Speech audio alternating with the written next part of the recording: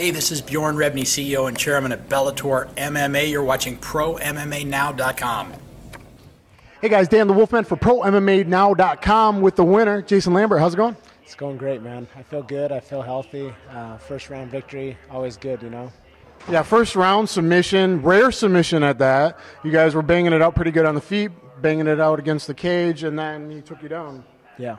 Yeah, he took me down, and then I just started attacking from my guard right away, and he just didn't really have any answers. So uh, I went triangle. He defended that. I went kimura. He defended that and rolled his arm out right into the reverse straight arm lock. And so, like judo style, you trapped it with your head and, and wrist on that behind the elbow. Yes, sir. Yeah. That's like Omega. I think Omega was the only other guy to pull that off in a high level MMA fight that I can think of. So that's pretty rare. That's pretty awesome. That's a nice submission win. Yeah, and, it went uh, well. Hopefully, get some attention here at Bellator. Yeah, I'm hoping so. I felt great. You know, I, I, feel healthy, so I'm ready to go for whatever else they want. Yeah. Would you like to get in the the you know tournament in the future? Is that your goal? Is to work your way at light heavyweight? Yeah, you know, I'm, I'm not really concerned right now. I just want to fight. So whatever, if it's in the tournament or if it's a one-off fight, either way, What's your usual walk around weight? I mean, you're a pretty stocky guy. You're like 235, 240? Or? You know, I've been been a lot bigger lately, and then uh, I got really serious with my diet, and um, I was like 220 walking around, really light. I made weight really easy for this fight. It's a pretty easy cut. Yeah.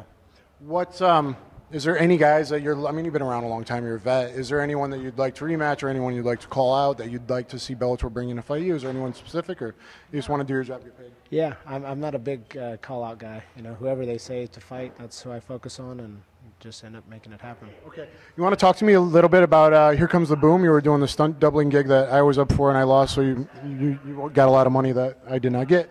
But um, you did that whole thing for Kevin James, right? Yeah, it was a blast. Um, I was out in Boston for almost four months, and we filmed. I helped with all the fight choreography. We, you know, worked through all the fights for the entire movie. I got to do the stunts. I doubled for Kevin, and then I actually got thrown in for a couple little small scenes that you know probably got ended up on the edit, edit floor, but it was fun. You know, it was a blast. I had never been part of a major motion picture like that.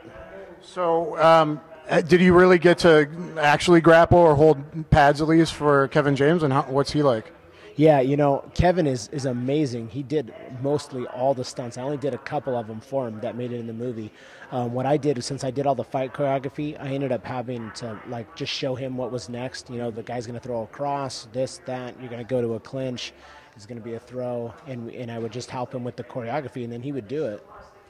The guy's got real power. People don't realize that he can rap, right? Yeah, yeah, he uh, he's he's a strong guy. All right, well, cool. Well, congrats on the movie gig. Uh, congrats on your win, and I hope everything goes good. Is there any uh, websites or Twitter or anything you want to plug? Uh, yeah, my sponsors, uh, solacediamonds.com, um, Bullet exec, uh, Bulletproof Executive, and uh, Oceanside Ale Works.